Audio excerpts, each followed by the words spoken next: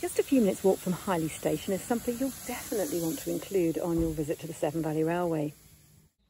The Engine House Visitor Centre is packed with railway related treasures including locomotives and carriages on static display.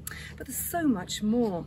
In this first film about the treasures of the Engine House we're going to look at the work of a man described as one of the leading photographers of his generation and an accomplished railway artist. George Heiron was born in 1929 in Bristol. With the GWR on his doorstep, he was in the right oh, time and place to capture steam railway during the 1950s and 60s. He took his first photos as a teenager on his mother's Brownie box camera and never looked back.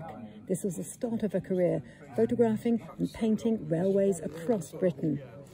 Today, George's son Richard is visiting the engine house to see some of his father's work. It's the passion he had for it. He didn't just do it as a job, it was his life. He had an absolute passion for railways. He would cycle to most places that most people couldn't get to in cars, and he would just sit on the embankment for hours with a flask of tea, and he was just happy in his world. But when he would come home, his his life was um, doing um, his paintings, but very few of them were for us. They were mostly all commissioned.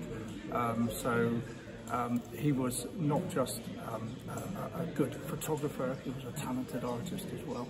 But it's true to say that you did manage to appear in some of the photographs at least, didn't you? Yes, yes, I did. I think um, certainly as, as a younger lad, um, very much uh, a toddler, I'm in, in, in many of them. And Mother as well. Mother was in a lot of the photographs. She has become um, well known because she was always at the end of the platform and my father would always you know, put her in, in, in the photographs and, and, and uh, in his paintings too.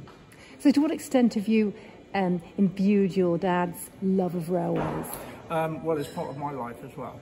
So I have a massive model railway at home, and there's still a, a large one of my father's as well. And um, yeah, so um, there's not a single day that doesn't go by when I'm not doing something to do with railways, to What's it like coming here today then to the engine house and seeing your dad's work? Um, it, it, always gives me a great thrill um, to stand there and think that's my dad.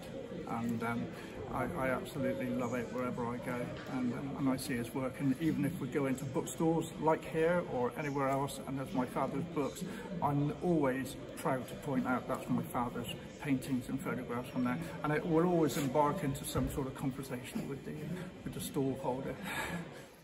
The three Heiron paintings of 48773 belong to the Stanier 8F Locomotive Society and the loco itself is on static display alongside.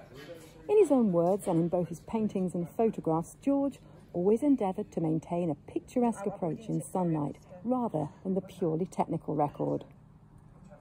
George died in 2001 but left a rich legacy in his work. Make sure you look up the 8F paintings next time you're at the Engine House. See you next time.